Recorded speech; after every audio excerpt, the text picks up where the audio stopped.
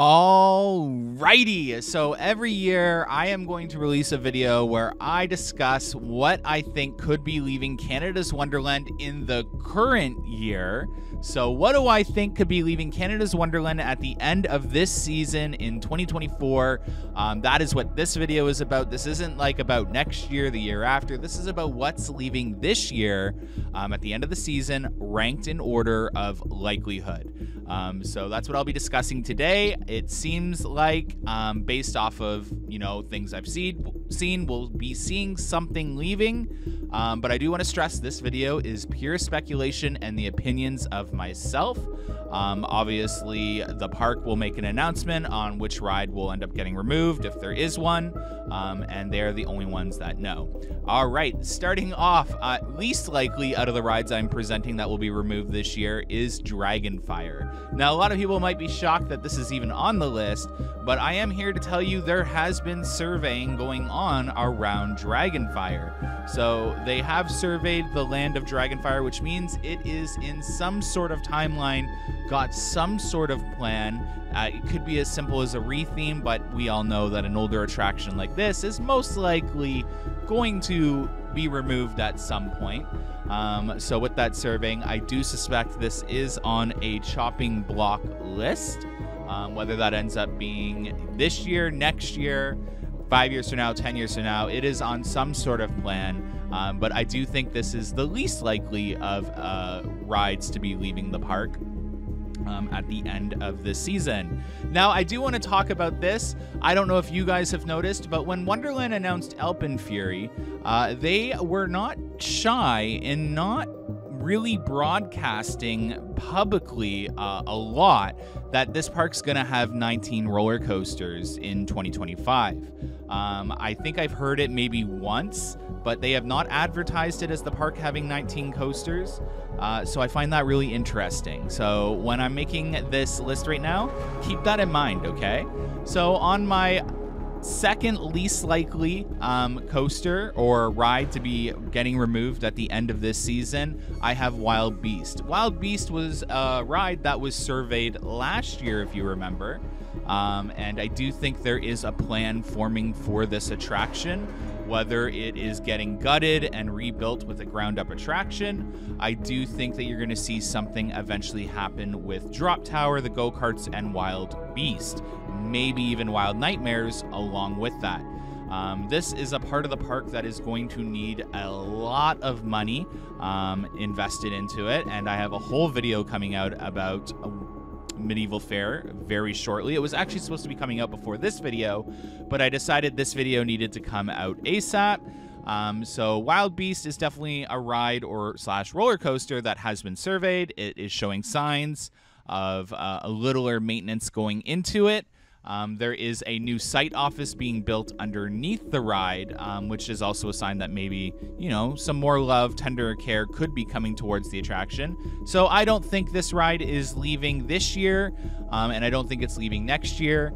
Um, but I do think this ride has a plan that has formed in terms of its future. So, what do you guys think at this point of the video? Comment down below. What do you think is the most likely ride to be leaving at the end of this season? I want to hear from you guys.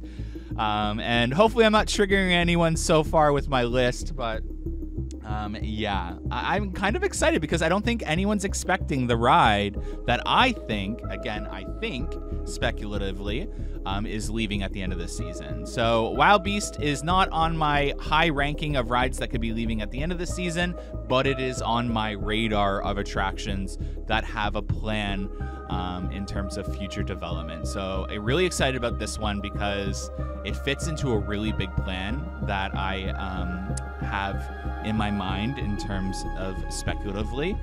But yeah, we'll talk about that later. Woo! This ride, um, Riptide, is an interesting one. So, this is a ride that is in the middle of my list of attractions, um, most likely to be removed um, soon. This attraction has been operating um, the entire se- uh, season so far, essentially at limited capacity. So they've been using one lane only, uh, one row, not lane. Um, it has been operating uh, at limited capacity. The water jets don't work.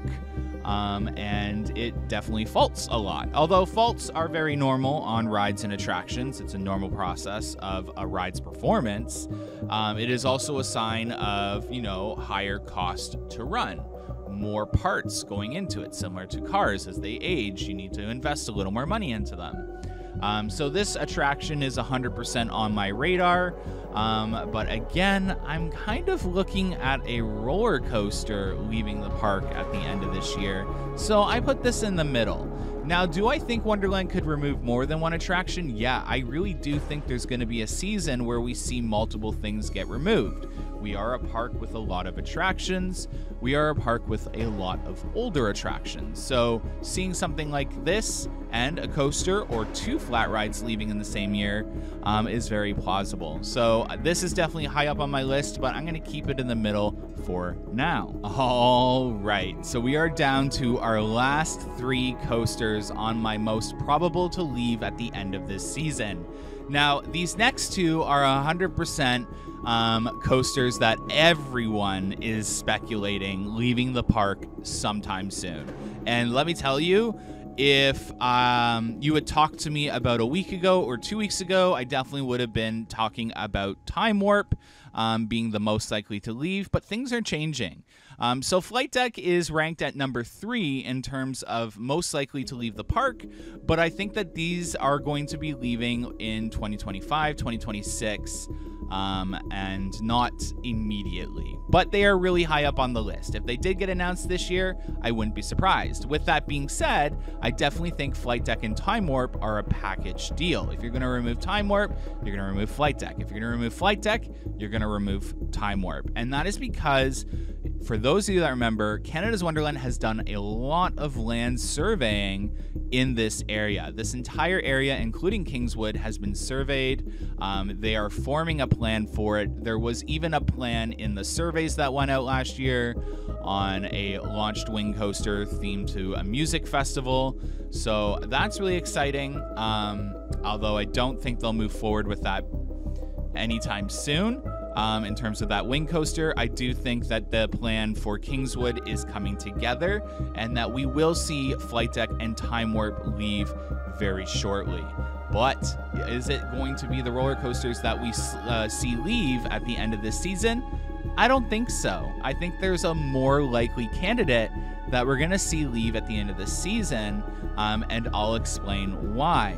So, what do I think is the most likely attraction slash roller coaster leaving at the end of this season? That is the bat.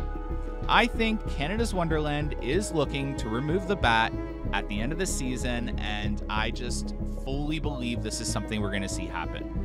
Um, the bat has definitely been having a lot of growing pains with its age over the last couple of seasons. Um, it's been valleying a lot. It's been having a lot of maintenance costs go into it. We've seen them reinstall a brand new chain on the roller coaster, and then that chain has experienced some difficulties in the last couple of days. Um, I was just there the other day, and the coaster valleyed after making a lot of grinding noises on the chain. Um, but again, the rides performed as usual and the ride came to a safe stop. This isn't something out of the ordinary. Things happen, it's mechanical, and the ride's safety features performed 100% effective. Um, it is just something that is costing the park a lot of money to continue to operate. Um, it has really limited capacity. Um, it's a very older attraction, and it's one of those attractions that is a classic and it is a fan favorite amongst some, but I do think it no longer belongs at a park like Canada's Wonderland. Now, that leaves me to what could possibly be replacing the bat? Well, I'm going to talk about that in another video. This video is just talking about how I think the bat is the most likely roller coaster leaving at the end of this year. So, will I be right about what's leaving Canada's Wonderland in 2024? I don't know. Truthfully, it's up in the air. We'll have to wait and see. Um, but nonetheless, do you guys agree with my list? And do you agree with the bat being the most likely candidate to leave Canada's Wonderland? Comment down below and let me know how you feel. Have a good one, guys. Bye.